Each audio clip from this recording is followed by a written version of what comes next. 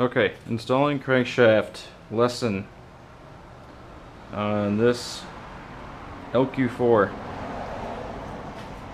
Probably be the same for most Gen 3 LS blocks. 5.3, 4.8, 5.7, whatever. Probably the same. Uh, so, installation process. Apply lots, well, apply a moderate amount of assembly lube to uh, the bearing surfaces on the block and the main caps. Uh, all five, obviously. Um, or you can even put it on the crank journals. Doesn't matter as long as there's some sort of lubrication there. Apply that liberally.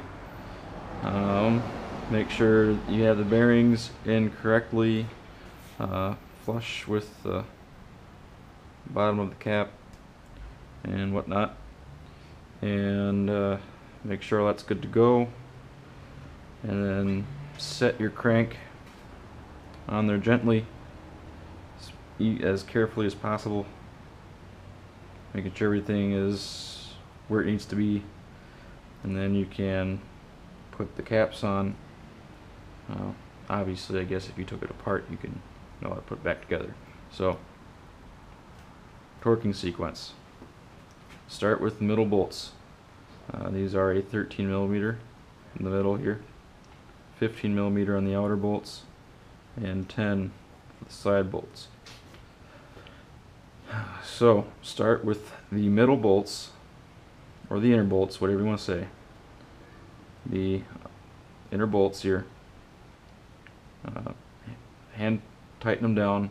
Hand tighten all the bolts first make sure everything's hand tight down uh, everything's lined up. So once you go to torque down your bolts you don't uh, cross thread or uh, force something onto another thing. Yes. So okay. One two three four five six seven eight nine ten. That is a sequence for torquing down main cap bolts. One, two, three, four, five, six, seven, eight, nine, ten. Again, two for the outside bolts. One, two, three, four, five, six, seven, eight, nine, ten. That's the sequence. Specifications for the bolts. Uh, inner bolts. Uh, torque them down to 15 foot-pounds. And then after you torque these down to 15 foot-pounds go ahead and um, do it 80 degrees after the after the 15 foot-pounds. So it's 15 foot-pounds torqued and then 80 degrees additional to the 15 foot-pounds.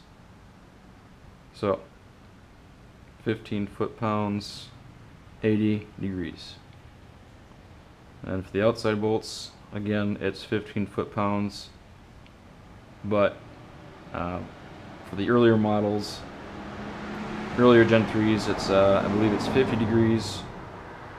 Um, later Gen 3s are 51 so one degree not a big difference. Its specification is plus or minus 3 degrees anyway.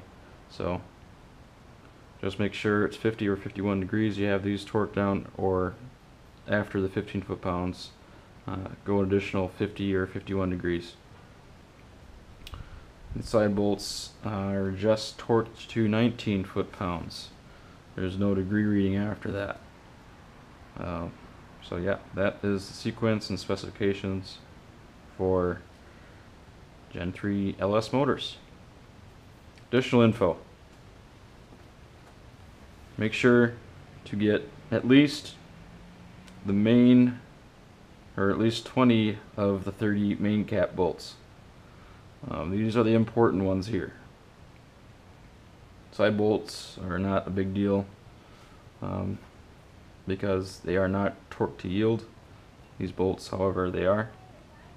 Um, so it's good practice to, as soon as you, it's kind of like the head bolts, as soon as you uh, remove the pressure off the threads, they have stretched to whatever they stretch to. So it's uh, they won't torque down um, how they should.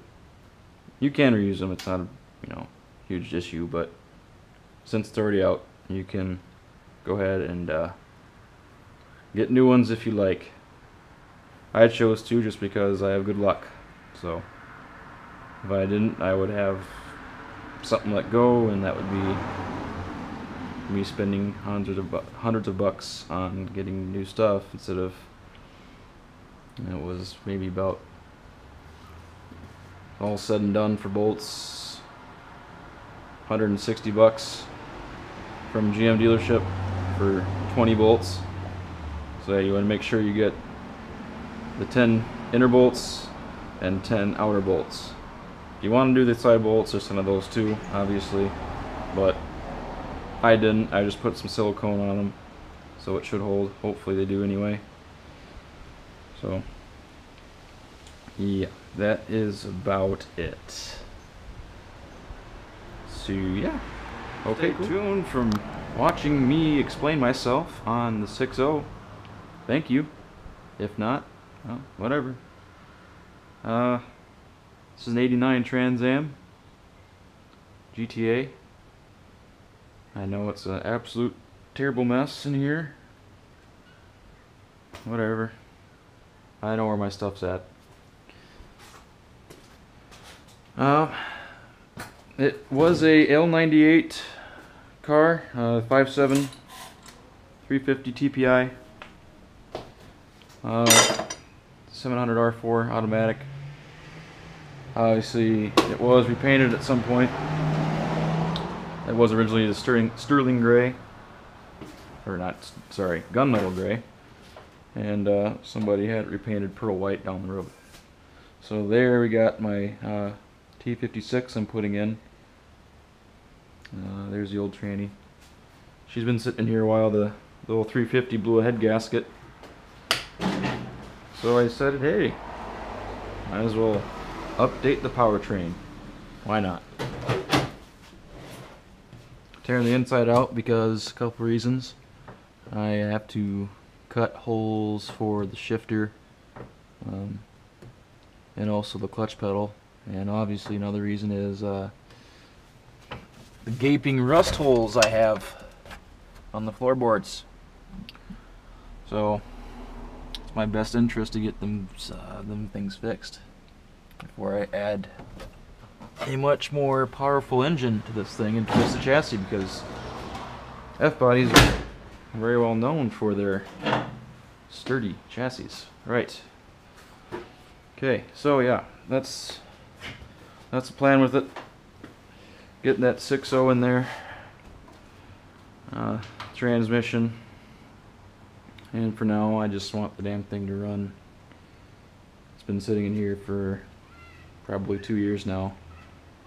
So, right now I'm stuck driving my old truck. That is not as fun. Hey, it gets me around. Doesn't look as good well, whatever. So, thanks for watching. I will do updates as I progress, which I don't know how, can't tell you how many more progressions I will make. I get fairly distracted easily on stuff. Um, so yeah, scatterbrain. Got my pistons over there soaking in some pine sol. If you could smell through the camera, it smells delicious. All right, bye.